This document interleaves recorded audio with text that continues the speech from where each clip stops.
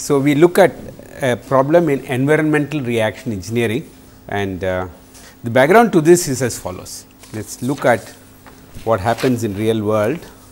See all over the world there is a general tendency to put waste water particularly sewage uh, into the river and uh, do your design so that the river is able to take care of the pollution in the water.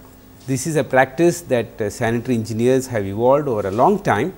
And there are some guidelines which you are supposed to follow. And this whole uh, oxygen sag analysis tells you what those guidelines are and what is it that you are supposed to do. The general uh, approach here is that the river comes with uh, relatively clean water and uh, and the river has a natural mechanism for oxygenation. And therefore, that oxygen capacity that the river has you are able to utilize to treat your sewage. Okay. This is the uh, general thinking that river has a lot of water, the river water is relatively not polluted and there is natural reaeration capability that the river has and consequently, you are able to treat sewage and uh, there are some numbers which you have to take care. So, that the sewage is treated in an appropriate way. So, what we want to do is to do this uh, exercise we do it for a steady state assuming that the river flows uh, are known and the sewage flows are known and at steady state our inputs, outputs, generations and accumulations, this accumulation is taken as 0. We take this as 0. Okay. Now, what is this balance is for the amount of oxygen that you are able to supply to the water in the river basically that is the balance. In other words, how much of pollution load is coming in, how much of pollution load will go out and then how much of oxygen you can supply, how much of oxygen will get consumed and that balance if it is at steady state goes to 0. That is the balance that we want to write and understand how to write this. So, this is what I have written, let us spend some time on this. We are taking an elemental volume, this is a river flow at velocity u, input, output, generation, accumulation. So, I have taken an elemental volume so, so much what is C? C here represents the oxygen that is present in the water. What is the dissolved oxygen in water? Okay. So, C is the dissolved oxygen in water, U is the velocity of water, A is the cross sectional area of the river at x and x plus delta x. The first term here, this first term here, what is this first term? It represents the amount of oxygen that is consumed by the respiratory organisms in water which uses the pollution S 1. Okay. What is this term? S 1 times K 1 times A times delta x. This is the amount of oxygen that is consumed by the respiration in the uh, of the organisms which using this uh, pollution S 1. Okay. For example, you know when we throw let us say carbohydrates uh, into water, carbohydrates you know the it requires certain amount of oxygen and that S represents the oxygen demand of that water. Okay. Suppose I give you a waste water and ask you what is its oxygen demand, we, we said earlier also we, we do a simple test to find out how much oxygen is required to oxidize it and that determines the amount of oxygen demand of that water. So, S 1 is the oxygen demand of that water and K 1 is the rate constant the rate at which this gets consumed. Therefore, this term represents the rate at which oxygen would be consumed by the pollution load in water. Okay. The next term which is K 3 times C s minus of C, this is the driving force that means solubility of oxygen in water is C s, oxygen concentration in water is C. So, this is the driving force, this is the rate constant for reaeration. What is K 3? K 3 is rate constant for reaeration. So, so much of oxygen gets consumed uh, because of the uh, pollution load, so much of oxygen is supplied because of natural reaeration. Is that clear? Is this term clear? This is the pollution, the oxygen consumed by the pollution load in water. This is the oxygen that is available to water because of natural reaeration. Okay. So, this now this term RP, RRP and RS.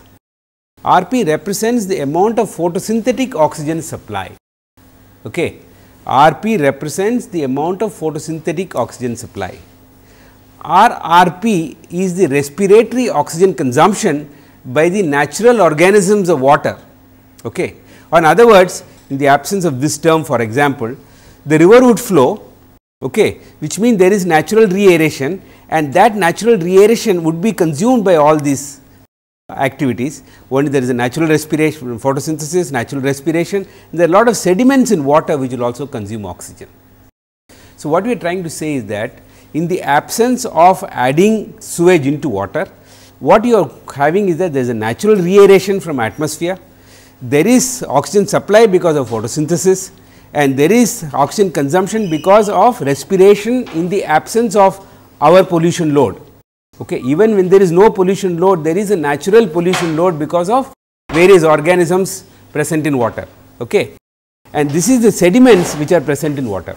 Is this clear? The statement of material balance is what is important, the rest is very straightforward. The statement of material balance is that there is pollution in water and that we are adding this sewage, this is because of this sewage. So, this is the amount of oxygen that is consumed by that sewage this is the oxygen that is supplied because of natural reaeration. What is meant by natural reaeration? This water of the river is in contact with the atmosphere, there is atmospheric turbulence and as a result there is oxygen transfer to the river. Okay. That is this term. Now, there are these three terms here which is oxygen generation due to photosynthesis. This is oxygen consumption because of respiration in the natural environment. This is the oxygen consumption because of various sediments that is present in the river basin. Okay. So, even in the absence of suppose even this you are not there you have all these terms which means that there is natural reaeration, there is natural photosynthesis, there is natural respiration, is natural sediment respiration. Okay. So, when you add this, this is an additional term, the object of this analysis is that what is the effect of this additional term on the water quality of the river. Is this clear? This is the problem we are trying to solve. Now, these numbers k 1, k 3 etcetera are fairly well documented. For example, different climatic regions of the world, there are a lot of numbers which are available readily. This term RP, RRP and RS, lot of material is available. What is important to recognize is that this term is generally uh, considered as 0 or in other words, what we are saying is that the oxygen that is supplied by photosynthetic organisms of water is essentially to serve the respiratory needs of the water environment. Is that clear? The oxygen that is produced by the photosynthetic organisms of water is the oxygen that is used up by the respiration of the natural organisms of water, indicating that really speaking the natural environment really does not have much surplus oxygen natural environment does not really have surplus oxygen, because this RP is essentially meant for the respiration uh, respiratory oxygen demands of our RP and RS. Okay. But because urbanization and so many other issues, what we have said, what sanitary engineers have said is that we can put certain amount of uh, waste into our water bodies and that would not harm the water body. This is the argument that uh, our friends in sanitary engineering are saying. Okay. We will see what kind of results we get. Okay. Now, we can represent equation 1 whatever that in this form. Okay. Can knock off the appropriate terms. Okay. A goes off, A goes off.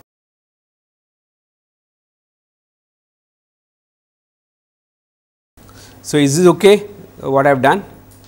I knocked out A and all that, I put it in this form. Does it look all right? So, this is the statement of material balance where C represents the oxygen concentration in water, K 3 is the re reaeration constant and K 1 is the what they call as uh, I mean BOD consumption rate constant and beta is this term, beta is this term.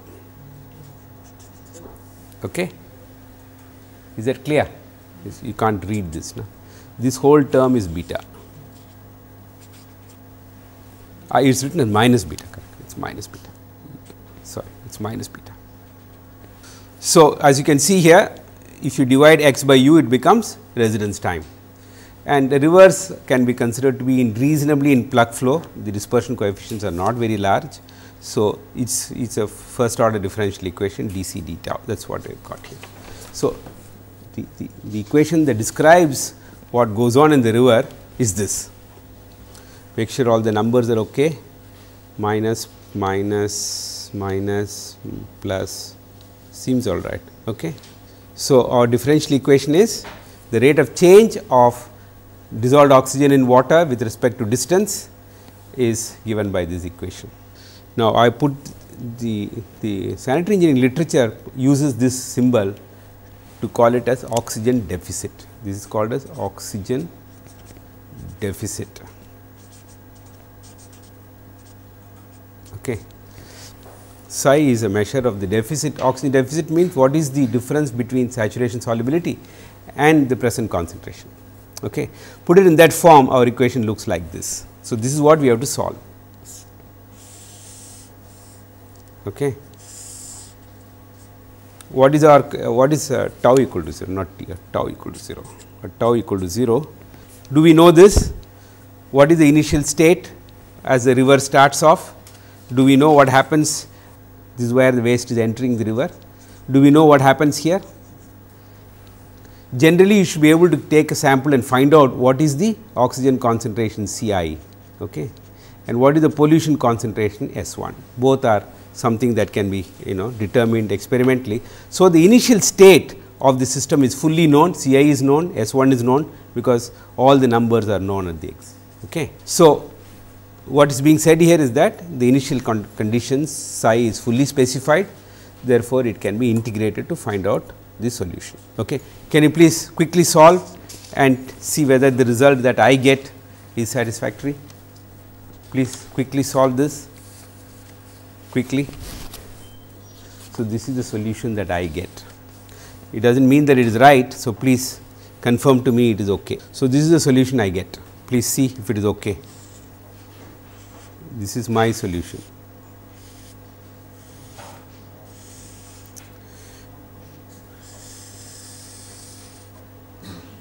Please see if it is okay. Now, I want to draw attention to this term please is an important term. See this term k 1 S 1, this term S 1 is written as S 1 0 e to the power of minus k 1 times tau. Why it is written like that is that the assumption is that this material which is the pollution load in the water, it will decay as per the rate constant k 1 in the time of residence tau. In other words during the period of tau of residence time in the river, this would consume so much of oxygen that is what is it decays like this and therefore, it has an effect on the oxygen. So, what we are saying is that this term this S 1 which is the pollution load in water it will decay as per the exponential rate law which means that S 1 would change as S 1 0 exponential of minus of k 1 t where k 1 is the uh, decay rate constant for the pollution load where S 1 is the pollution load. Okay. So, this comes from our first order law that if S S 1 0 times e to the minus k 1, k 1 is a rate constant for the decay of pollution. So, in other words what we are trying to say here is that the oxygen that is present in water it will decay and that is because this is consuming that oxygen and it is consuming that oxygen at this rate where S 1 is going to decay like this S 1 0 e to the minus k tau. Okay and beta is uh, generally not taken as a constant because it does not change if the environment is fixed beta is fixed. So, our solution looks like this this is my integrated form of the solution please tell me if it is okay. So, k s 1 is replaced by s 1 0 to the minus k 1 tau beta is a constant it is taken as constant. So, I put the integrating factor and this is the solution is it okay. What I have done my friend is that I have put x by u as tau is it okay x by u I should have mentioned here yes let me write it here. Tau equal to x divided by u. Okay that is why I have put it in that form in the next page. Is this okay now? Can we go forward? Integrating factor I put it in this form I am integrating both sides. Shall we go forward? It is okay. Okay. Now you divide throughout by e to the minus k tau and you get the final form so, the final form I get is this. Tau equal to 0 sorry tau equal to 0 psi is psi i and uh, how do you find out the value of the constant of integration? How do you find the constant of integration? Tau equal to 0 psi is psi i. Okay. What is psi i? You ask yourself psi is defined as cs minus of c. This is known because you take a sample you can find out the oxygen level in the water at the point where you are starting your tau equal to 0. So, C is C i is known, C i saturation solubility is known therefore, phi i is known is that clear or in other word initial deficit in that water is known because C s minus C is called as deficit W uh, psi i is known from our initial state. Okay. So, psi i is known therefore, the constant of integration is given by this and solution looks like this. So, if we want to put our waste into our rivers, we must look carefully at this equation. So, this tells us what will happen to our river when we put waste into our rivers. Is that clear? So, what are we saying? That psi which is uh, the oxygen deficit, psi is oxygen deficit, C s minus of C, psi is C s minus of C that means saturation solubility minus the actual concentration that is psi that is given by K 1 S, S 1 0 is the what is S 1 0? S 1 0 is the concentration of pollution after it has gotten mixed with the river. Our model is this the pollution is coming in here, here it mix up mixes up and the concentration S 1 0 represents the combination of river water as well as the waste water. So, this is S 1 0 is that clear? So, S 1 0 is known because the river flow is known, amount of wastewater coming is known. Therefore, from a material balance you can calculate what is S 1 0. Is that clear? Okay. Now, K, 1 and K 3 are K 1 is the constant that is responsible for the decay of the pollution.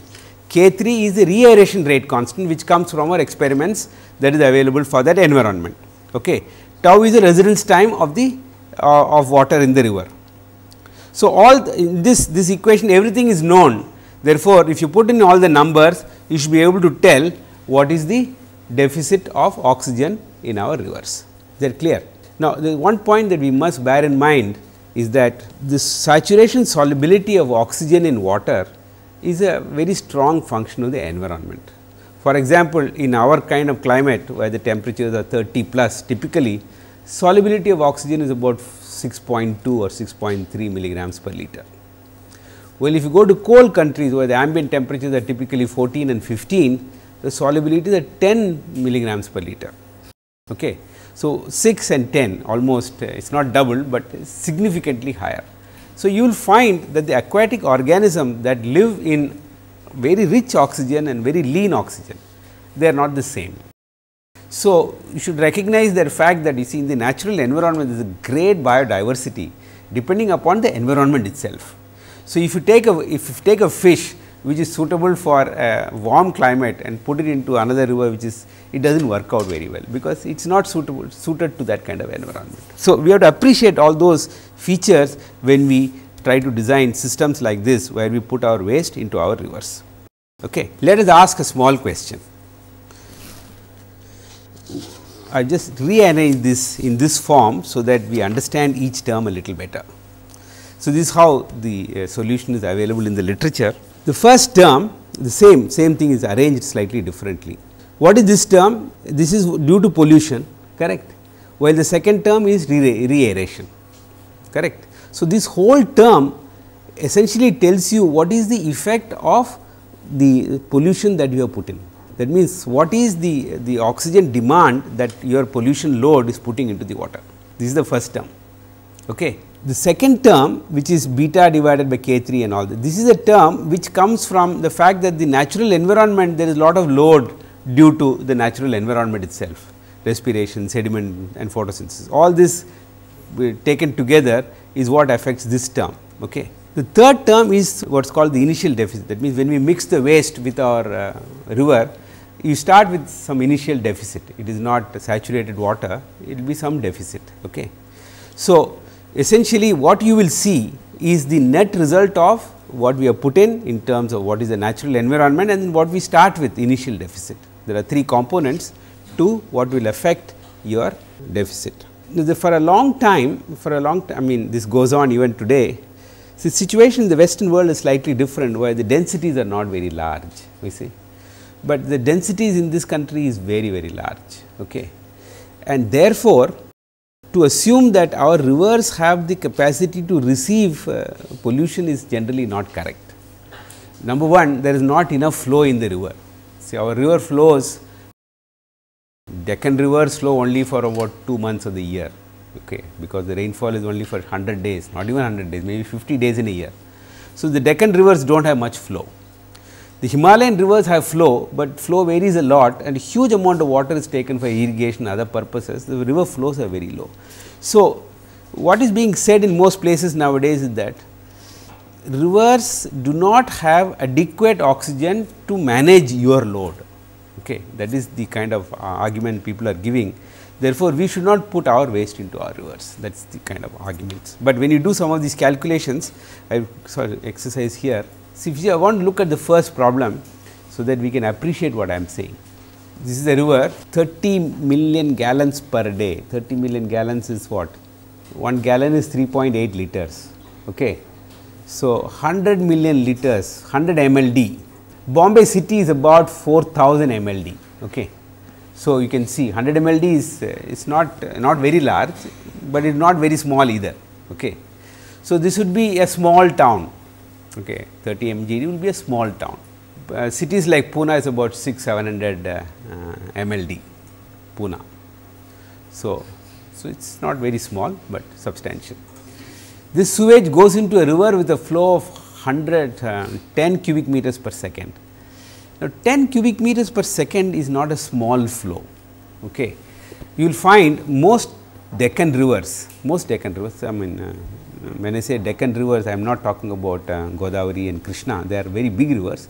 I am talking about small, many of these small tributaries, you know, rivulets. During the monsoon, they will have this kind of flow.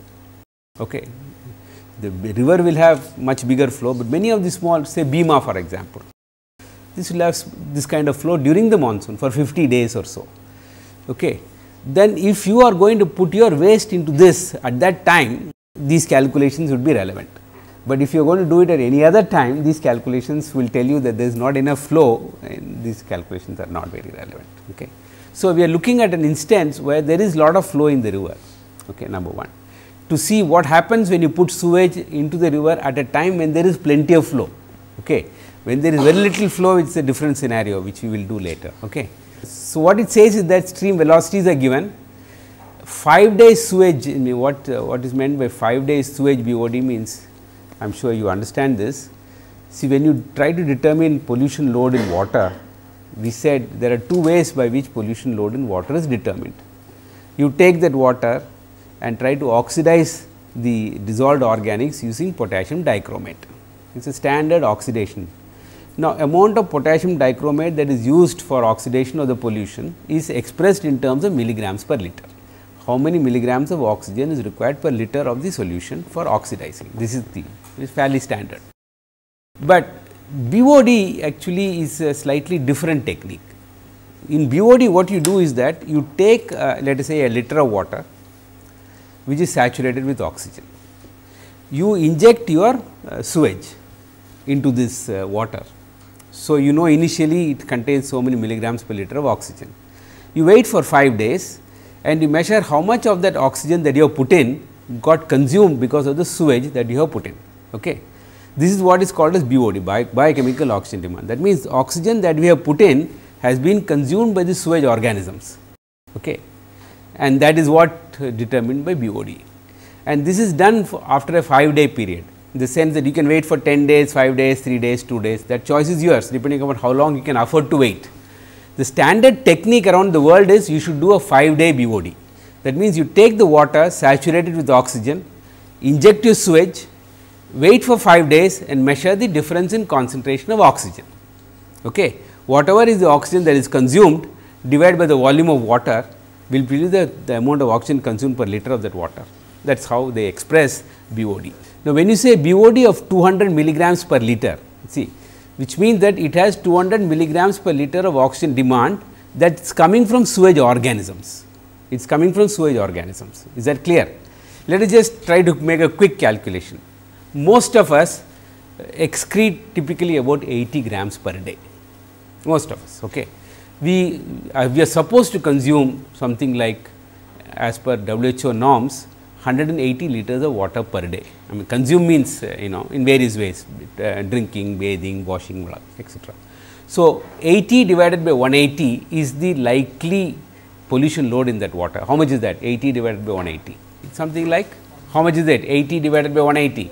0.4. So, 400 milligrams per liter is the kind of oxygen load that we should expect in the waters that you and I dispose.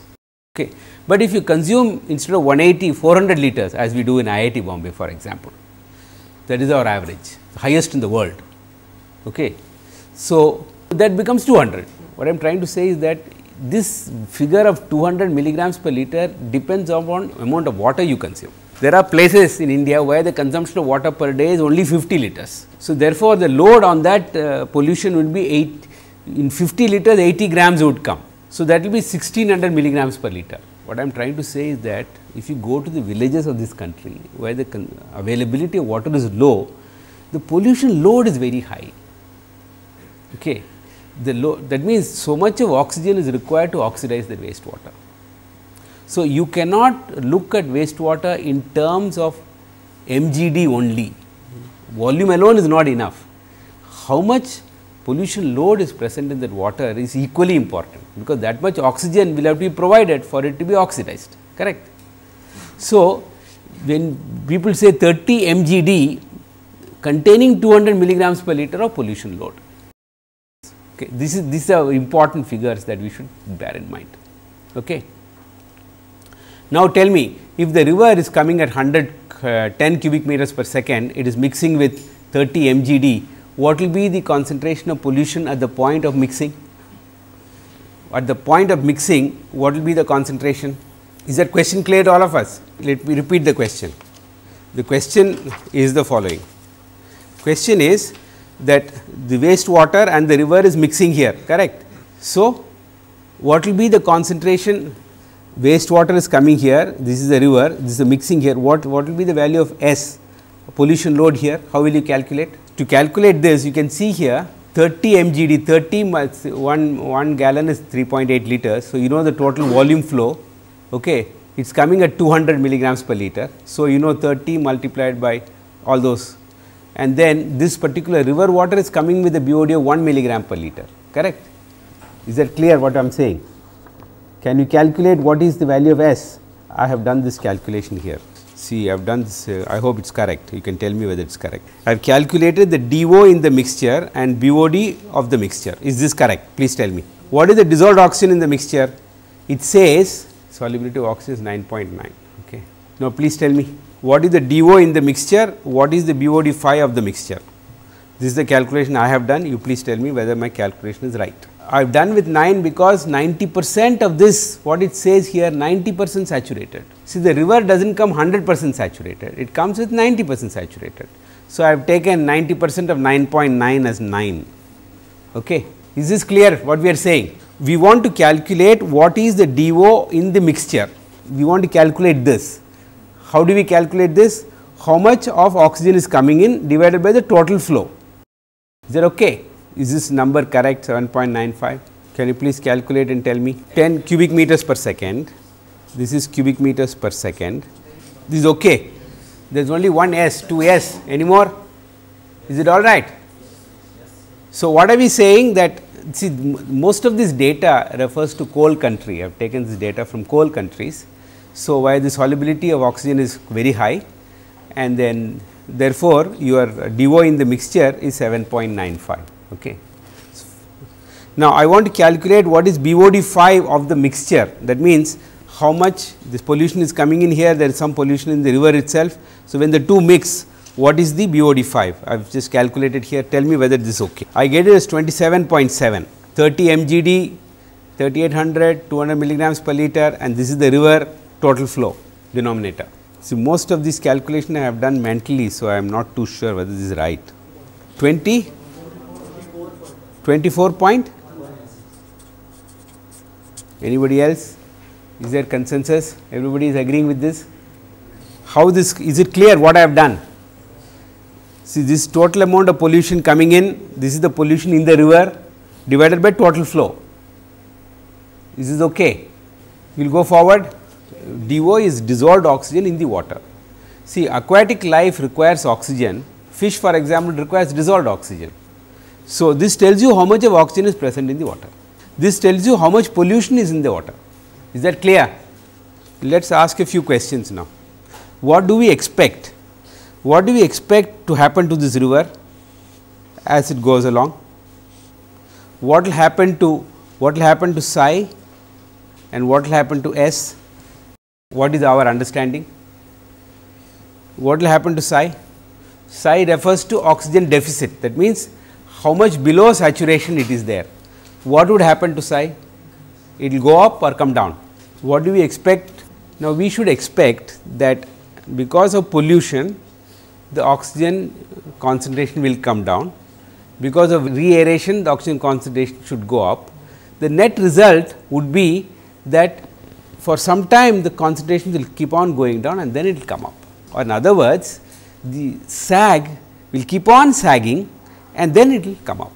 This is what we would expect because we have put a lot of pollution load as a result initially the, the pollution load will consume the oxygen and therefore, it will keep going down and then it will come up. So, the, the concern uh, in uh, of people who are looking after our rivers and lakes etcetera is that the extent to which it goes down should not be detrimental to aquatic life. See, we allow it to go down, yes, how much do we allow it to go down? Okay. Now, if there is no oxygen of course, fish will die. Whether the fishes can live with 1 milligram per liter or 2 milligram per liter or 3 we do not know, but our friends in environment would know they will tell no we should not allow it to go beyond whatever is the critical number that is specified for different environments. The object of this analysis is to determine what is the likely sag that will be experienced if you put this sewage into the river. Before you do it, when you do your calculations, you will know. Then accordingly, you can do your design, making sure that the uh, bad effects will not follow. We have uh, been talking about uh, oxygen sag analysis we have derived the equations uh, that describe uh, uh, the, the consumption of oxygen in the river and so on.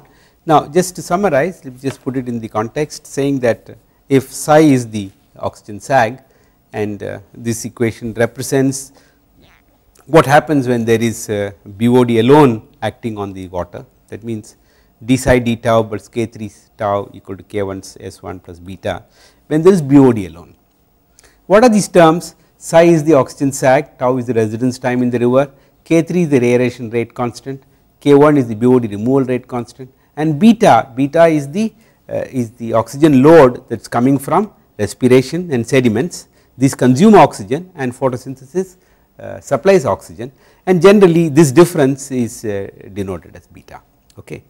Now, now you can have a situation in which you have only COD that is entering the river now, as you all know in most of the industrial waste waters uh, the BOD is very low, so most of it is COD only. Therefore, there could be situation entering the river is only COD which is S2 or it can be only BOD which is uh, S1 or in a mixture of the two both are possible. Okay. We will consider all these situations as we go along. We have already solved this case for the case of BOD alone we gave the solution already I will not do it again because we have done it but uh, what is important to recognize here is that the oxygen sag is, uh, is actually affected by three important factors as you can see here. One is the effect of BOD that means what is the exertion due to BOD to bring about a reduction in, in to sort of change the oxygen sag and this is uh, the what is this this is the effect due to uh, photosynthesis, respiration and so on. And this is the initial effect that means at the point of entry because of the waste coming in there is an initial deficit. In other words what we are saying is the BOD, uh, the, the effect of BOD on the oxygen levels in the river, uh, this, this is the oxygen sag.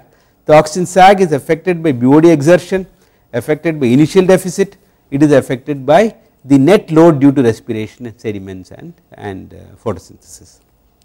Now, if instead of BOD we had COD, uh, it is the same in the sense that the, all the effects are due to COD. This is due to COD exertion, this is net load due to natural biology and this is the initial deficit. So, the form of the two equations are identical. Please notice wherever S1 0 it becomes S2 0, there is no difference. The form is the same. Only thing is that here it is K1 rate constant, here it is rate constant is K2. Okay. So, the, the form of the expressions are identical whether it is BOD or COD. Only when there are when they are mixed the expressions are slightly different we will come back to that in a minute. Okay. Now, we have shown this I will not show this again we have already shown that for the case of, uh, uh, of whether it is only BOD or only COD that uh, the point at which the maximum sag occurs is given by this expression. I have not derived this uh, I have left it as an exercise to the class. I make uh, request all of you that you know you please substitute and uh, you know convince yourself that this is correct. Okay. If necessary, I will take it up in a tutorial class. So, the, the point of maximum sag is given by this and the value of the maximum sag is given by this. Okay. That is what is the important point. Okay. So, what have we said so far? What we have said so far is that we have set up the equations for the level of oxygen in the river after there is some amount of contamination due to a pollution. Then we expressed this uh, effect on the oxygen in the form of oxygen sag where sag is defined as sag itself is defined as psi equal to C s minus of C where C is the saturation solubility of oxygen and C is the local composition. Okay. Then we said that you know the the uh, the oxygen sag in the river at any position given in terms of residence time can be related to the system parameters which we have done. Okay. Now, we are now in a position to actually see how best we can use our results to, uh, to uh, understand how uh, things perform in a river. So, we want to see how our, uh, our formulation is able to explain what goes on in a river. Now, the question that may be relevant to all of us is how is oxygen sag analysis of a river relevant in chemical reaction engineering and something that we would all like to know. It seems to be a problem in environmental engineering. But What I am trying to put across here is that whatever happens in a river is due to a chemical reaction. What is that chemical reaction? There is a chemical reaction which is consumption of oxygen of the river due to the biological reaction which uh, leads to growth of that organism. Okay. Okay. Now, that means the consumption of oxygen by the biology is a chemical reaction. Okay. Now, that oxygen that is being consumed must be replenished that replenishment comes by a physical mass transfer. Okay. In other words, here is an instance of a reaction problem where there is mass transfer and chemical reaction. Okay. Is a very interesting example and how mass transfer and chemical reaction interplay to ensure that the river has a certain oxygen level that we see. I mean our interest in looking at this kind of reaction engineering problem is to see how best can we look after our natural systems. How best we can manage these natural systems uh, in the in the context of so much of pollution load coming from human activities. How best can we rejuvenate these systems so that they remain in good shape so that they serve our livelihood purposes as well as we would like it to be. In fact, it is the most important point that we want all our natural systems to be in good health, so that they serve the livelihood purposes not only for us, but for all the living organisms around us. So, our object of looking at problems like this is to apply fundamentals of chemical reaction engineering to understand the system, formulate the mathematics, so that the mathematics is able to tell us how we can manage our systems better than that we do now that is the object and therefore, it is a very core problem in reaction engineering therefore, it is we are not going away from the fundamental uh, mandate of chemical reaction engineering. Having said this a few points that I would like to draw your attention is that in our formulation in our formulation we said there is something called BOD. We said S10 is the BOD of the river as soon as it receives pollution. What are we saying?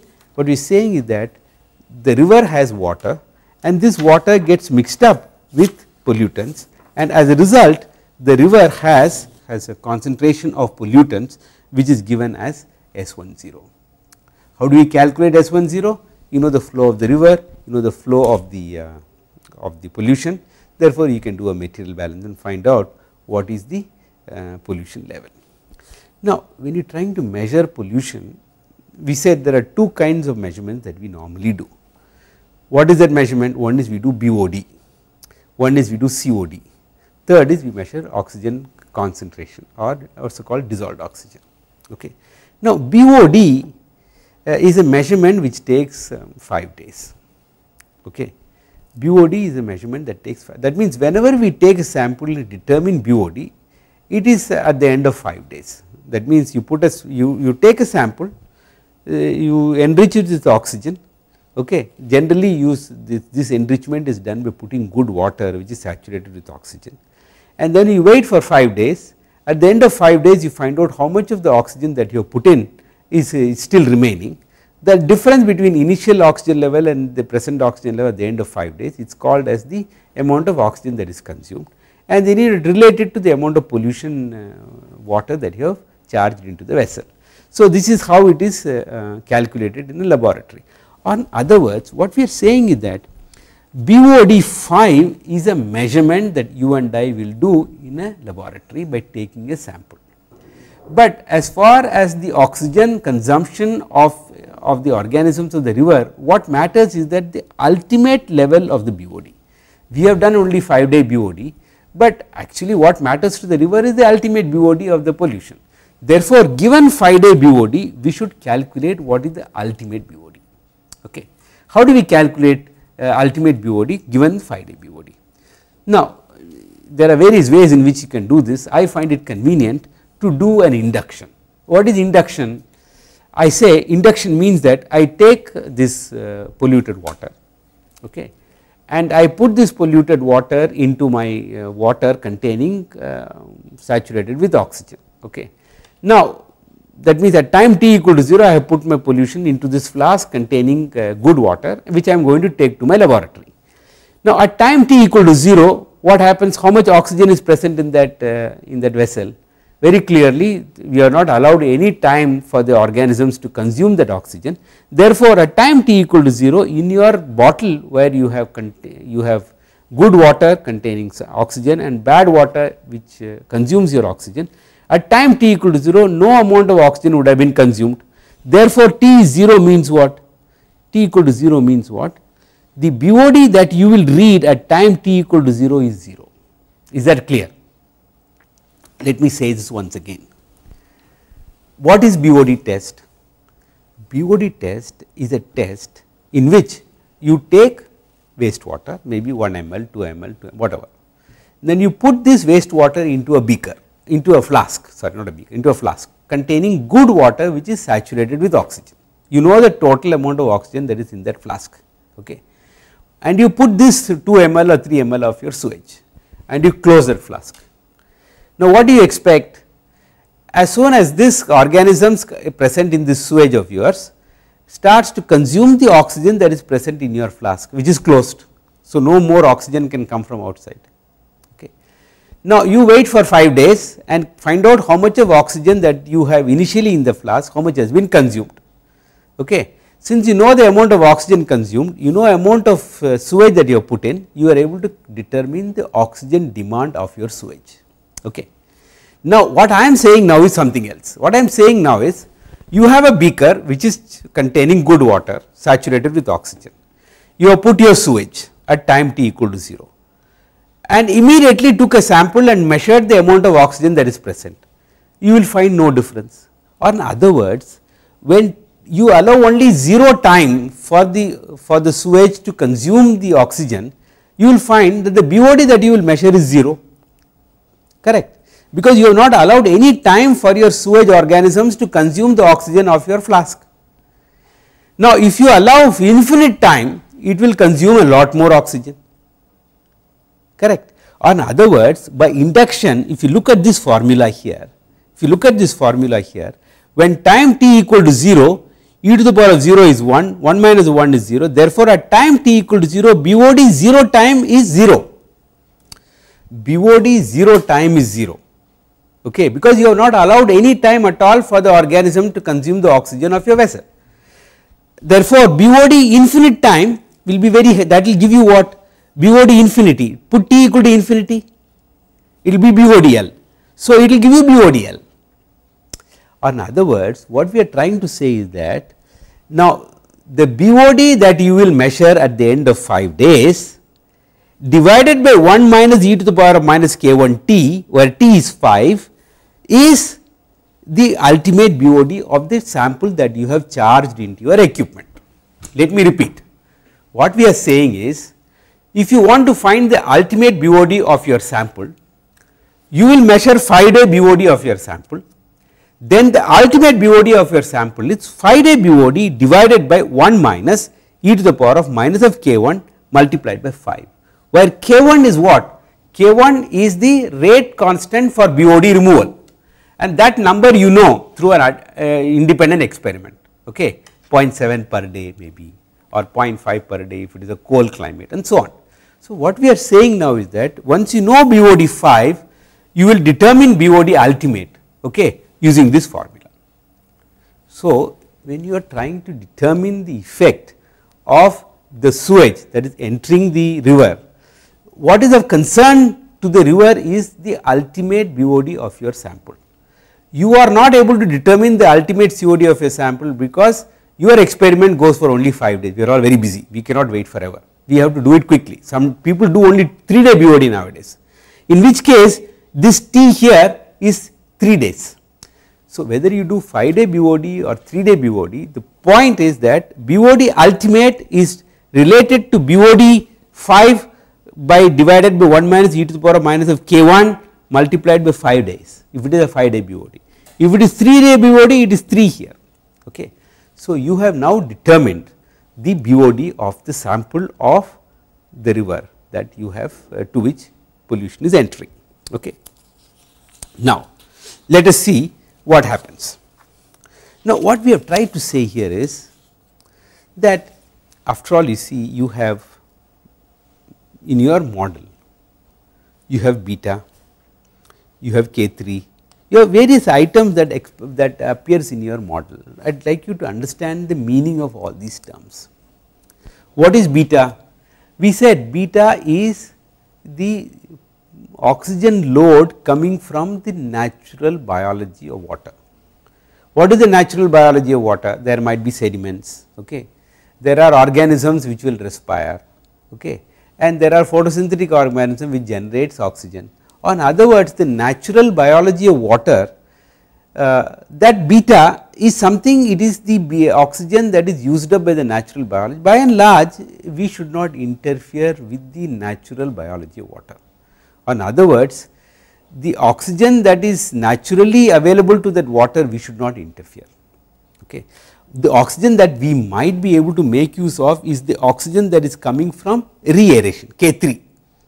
We, I mean even this there are many environmentalists who feel that even this is not for us, we should not interfere with this also, but the uh, oxygen science literature suggests that part of K 3 might still be uh, usable that is the literature. What is the meaning of S critical? S critical means it is the value of S at the point of maximum sag. We pointed out just now that when you put pollution into the river, the, there is a point of the river somewhere downstream where the oxygen becomes very low or the sag becomes very high. That is the point that is the worst point of the river from the point of view of uh, the health of the river. Our interest is to see that the worst scenario of the river should still be acceptable uh, to as per our norms that is what we are trying to say. The worst scenario should still be acceptable. That is why we want to know what is the worst scenario. Okay. For example, if the S critical, S critical, what is that means the pollution load in the river at S critical at the point of maximum sag. Let us say this BOD here is 20, then this is unacceptable because it says that drinking water source should preferably have a BOD less than 3. BOD less than 3 is considered to be a drinking water source which we will take, we will purify, we will treat, we will remove all the BOD, we will, we will sort of restore that water quality to quality that is required for consumption by humans and our domestic animals. Okay. So, that is the meaning of S critical. The meaning of S10 what is the meaning of S10? S10 the, the, you have this pollution entering the river, river has a certain amount of flow, the two will mix, you can do a material balance and find out what is the pollution load after having been mixed up with the river. The point we are trying to say is that river has a certain flow, your waste is coming at a certain flow. So, when they mix the mix pollution load is what is of interest as far as the self cleaning power of the river okay that is what we are trying to say. So, most important point that we must bear in mind the whole object of doing this oxygen sag analysis is to determine what is the worst point in the river from the point of view of oxygen sag. Can that worst point be such that it is not uh, undesirable to draw water from that point for drinking purposes. See the worst point also we must have a BOD less than 3 then only it is suitable for drawing water from that point for drinking purposes which we will treat and then bring it to appropriate uh, norms and then give it to people. Now if it so happens that point is very bad clearly we must tell the concerned municipalities please do not draw water from that point because that water is in very bad shape.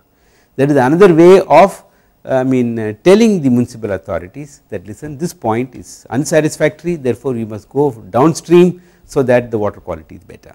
So, it is from that point of view of understanding the fundamentals of the reaction engineering that is required to understand what is the status today, to understand what you and I can do to restore that status. This is the object of what we are trying to do. Having said this, we want to do a few examples to quickly get to get a feel for what these numbers are. And uh, I have taken examples from different parts of the world to tell you that uh, situations in India are very very different from situations in particularly the western world. The western world is uh, there is water abundant, so there is plenty of water in the river. The and dissolved oxygen in the river you can see here the dissolved oxygen in the river is about 9 milligrams per liter because temperatures are low. And look at the river has huge amount of flow, huge amount of flow. We do not have this kind of flow even during monsoons in many of our rivers you see. So, I mean I am I am doing this just to draw attention to the fact that you know we must look at our systems very differently and to be able to do it differently we must appreciate what happens in other parts of the world. So that you know we take our lessons from them you see. What happens in the western world for Europe and America where there is abundant amount of water. So even if you put sewage into the river that is the example we are doing now it is not very serious as you will see right now. The first example we have taken here is that there is a, a river with 10 cubic meters per second of flow where the DO of the river is 9 milligrams per liter and then the sewage is entering at 30 million gallons per day and it coming with a BOD5 of 200 milligrams per liter okay it is coming with 200 milligrams per BOD5. Now how do you calculate the mixture DO of the mixture?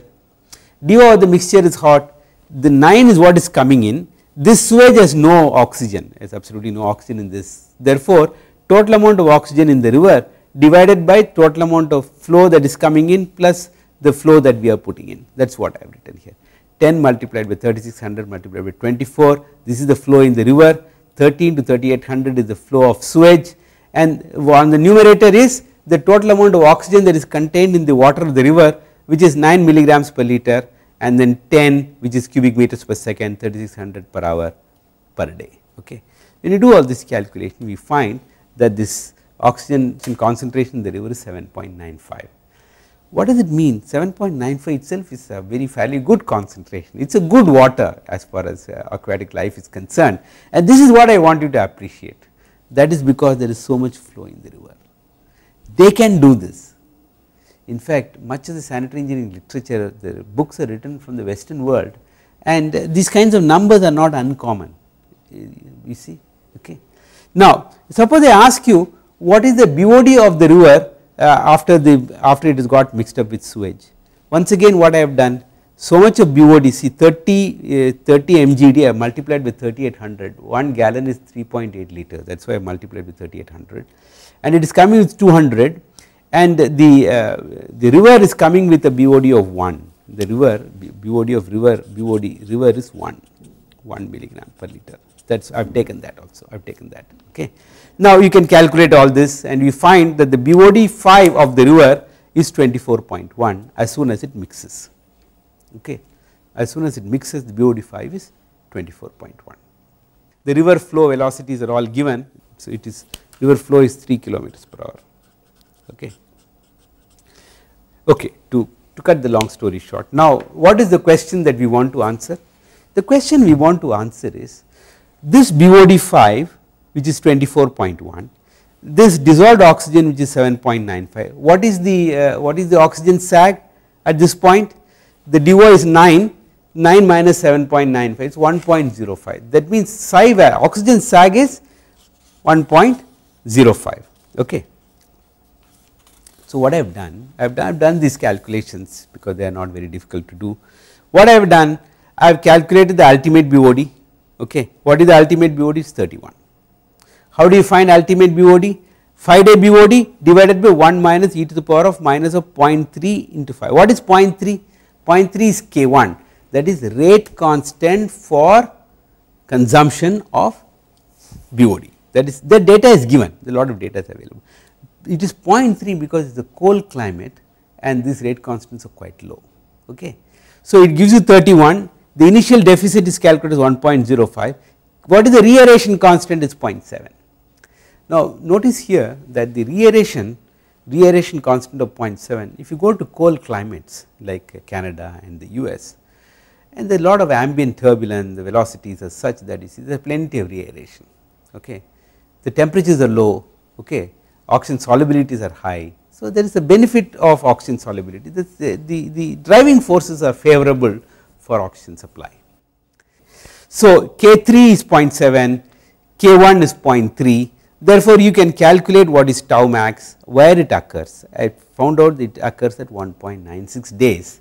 That means suppose you put the pollution here at this point uh, 1.96 days later only you will the oxygen sag becomes the highest if the flow is if the river is traveling at 3 kilometers per hour you can calculate what is the distance it will have traveled maybe 100 kilometers whatever. So, what we are saying what we are saying is that as per the model that we have set up that when you put 330 mgd of pollution 30 mgd of pollution into this river having so much of flow then you find that the maximum sag occurs at 1.96 days 1.96 days. And at after that 1.96 days what is the value of S critical? S that means what is the value of BOD at the point why the oxygen sag is the highest? Then it is given by an exponential decay in 1.96 days. It becomes 17.2. What we have said what we have said is that we have started with a S value of 31 it has become 17.2 okay. Oxygen sag it started with 1.05 the maximum sag. What is the maximum sag? I would have calculated the maximum sag. See I have calculated the maximum sag here as 7.29. What we are trying to say here is, here is an instance of a river where uh, the maximum sag occurs at about 1.96 days afterwards, 1.96 days means about 140 kilometers these are all huge rivers. You see huge rivers 140 kilometers afterwards the maximum sag occurs okay? And plenty of uh, uh, flow in the river. And the, the maximum sag itself is 7.29 showing that even at the point of maximum sag the oxygen concentration is about 1.7 milligrams per liter. So, what we are trying to say the rivers of cold climates have plenty of water and even if you put the sewage into those rivers the sag is not it is not it is not very satisfactory, but it is it is not like what happens. I will show you in Indian rivers what happens. This is not as bad as you would have thought. It is still suitable for many types of fish okay? That is the point we are trying to say. The second point a related point which is also of concern to us which I want to draw your attention is the following. That is uh, where are we here, here. Now, we, we said that at the point of maximum sag, the maximum sag is 7.29, we already said. How did we calculate maximum sag? We have a equation for maximum sag, we just have to put all the numbers, I put all the numbers here, you get maximum sag is 7.29. See, at the, at the point of maximum sag, what is the value of S? The point of maximum sag, the value of S is given by 17.2. So, what we are trying to say here is that 17.2 milligrams per liter is not acceptable from the point of view of drawing water for drinking purposes. So, what we are saying is that even in cold climates where there is abundant amount of water in the river, if you are putting so much of 30 million gallons of sewage into the river that you find that that uh, 140 kilometers later even 140 kilometers later that water is unsuitable for being drawn and then to be treated for purification. The water itself is seen as unsuitable because this specification is that the water quality must have a BOD less than 3 that is from that point only you should draw your water okay that is the point I am trying to say. So, even in the case of uh, cold climates like the western world the putting sewage into the river is creating some difficulties as you can see from the data.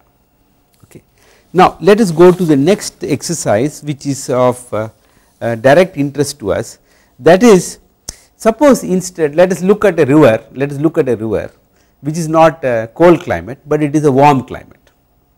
Okay. Let us like for example, in uh, South America see South America is a water surplus continent plenty of water. Okay. When you go from northern north from the river Orinoco to Amazon to you know La Plata is full of water plenty of water. But even there I want you to understand and appreciate that since the average temperatures are little larger temperatures are not as cold as in the United States and Canada and Europe temperatures are larger and as a result your K1 is 0.5 and not 0.3. K1 this is the one that you know this is the BOD removal rate constant. It consumes oxygen you see it consumes oxygen. Therefore this is 0.5. When you do your calculations we will not do through this once again, but if when you do your calculations you recognize that you know you can go through the same I will not do it again.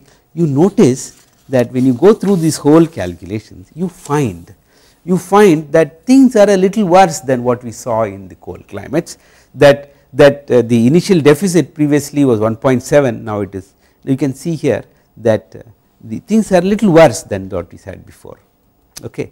As a result as a result you will find that the maximum sag is uh, more than what we had thought in the cold climates. To go through this once again. What we are saying is that when when you have uh, a cold climate and a warm climate. When it is warm climate you find here that BOD we, we started with 24.1 but BOD 5 is only 26 because it is 0.5 the rate constant is higher. So that is why previously it was 31 now it is only 26 okay. So you find that the effect of a higher temperature it is important to appreciate these numbers when the temperature is higher the things behave differently and we must take this into account in our design. I have taken these numbers for Latin America because in Latin America there is plenty of water, plenty of water. And therefore, the these situations are not I mean so bad because uh, there is so much of dilution due to so much of water okay? All right. Now what, what I want to draw your attention is the following. Even though there is so much of water, so much of dilution, the fact that the temperatures are high, you will find an interesting result which I have calculated here. What, the, what is the interesting result? The interesting result is that now you will find that the uh, after after some time after some distance the uh, the because the saturation solubilities Previously the saturation solubility at cold climates the saturation solubility was very high close to 10 milligrams per liter. In a warm climate the saturation solubility are 6 6.5 okay very warm climates. Because the saturation solubilities are low you will find that if you put so much of sewage into the river river will very quickly you will find that it becomes the, uh, the oxygen sag becomes very high 6 oxygen sag becomes 6 but 6 means what it is all that means the uh, DO is 0 because the CS the solubilities are very very low it is not 10 milligrams per liter it is much less. So, what I am trying to say here is that when the temperatures are high when the temperatures are high you will have these kinds of situations where you will find uh, for some distance for some distance the oxygen level in the river will be very low very low in fact nil and it will take some distance before it recovers or in other words it recovers only after about 11 days. So, what we are trying to say here is that in warm climates even in situations uh, where the river has plenty of water, even in situations where river has plenty of water, if the solubility of oxygen is low, you run into various kinds of problems of oxygen level in the river okay. and that will lead to various kinds of problems about the health of the aquatic population. What I am trying to put across to you here is that even in, in water surplus regions like Latin America, these problems can become quite serious. Okay. Okay. We talked about cold climates, there also the problems were of course I will not say it was very bad, but it is it is, it is serious if you put river uh, sewage into the river. If you go to warm climates, if you put sewage it becomes can become very serious. Now I am looking at a situation where the river has very little water as it happens in our case. Our rainfall is only for two maximum 30 days in a year that is it. Therefore, our rivers have practically no water. Now, when you put sewage into that river what happens? Okay. This is what has been done here. Okay. So, we have gone through the same calculations, but this time we are doing for a situation of a river where the river itself is coming with some COD. Why is that? The river is coming with COD is because there is so much of uh, interference of the river systems by human activities, the river itself is not in great shape. If you go to western rivers in the western world, the COD of that river will be 1.5, in our case it will be 10. Okay. That is when you do not put sewage into the river, when you put sewage into the river things are very very different. Okay. Now, we have done calculations here for the case of a river receiving essentially COD. Okay. When the river is receiving essentially COD, the, the reason why I am doing this for you is that when you are putting COD into the river, the rate constants are very low. Okay. COD is a molecule which is very difficult to get digested, consumed by the bacteriology of the water. So, you do not get 0.5 and all that even in warm climates like ours the rate constant may be 0.2, 0.15 things like that. I have taken 0.3 here, but I want to draw your attention to this fact that COD is a recalcitrant molecule. It is very difficult to digest. There are only some bacteria which is able to manage pollute very very toxic chemicals. Okay. So, we have done calculation for that case we have taken here this is S2 and here it is K2 we can see here that means we have put S2 which is COD K2 is the rate constant for COD removal. We have gone through all the calculations and once again here we have said the amount of pollution that is coming in is 100 KLD. The amount of water in the river is, uh, is only 0.1 cubic meters per second. 0.1 cubic meters per second is not small, it is still 360 cubic meters per hour per 360 cubic meters per hour which is not small. You see and even this is the kind of river we actually our rivers do not have much flow at all even this amount this amount of water might be there in Ganga, but point is that Ganga also has huge amount of uh, you know sewage flows from populations and so I have done a calculations just put taken some numbers just to draw attention to the fact what is the kind of uh, you know uh, river behavior you will see. And then the numbers I have gone through all the calculations. Let us not spend too much time. I have calculated COD I have calculated the oxygen deficits so what is the deficit and so on okay we are starting well it is 0.66 okay. Now you notice when you do all these calculations you notice the same problem that I have said before. What is the problem?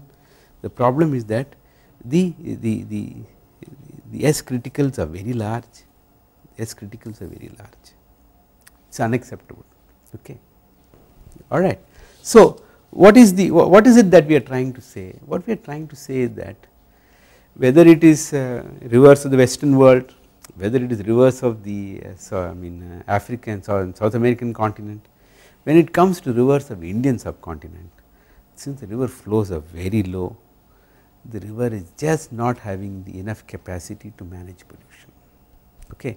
And therefore, we are really not able to draw water from the river for supplying uh, water to our population, because that water itself is not in good shape. So, that is why we have to ensure that uh, that we do something about this whole problem. Okay.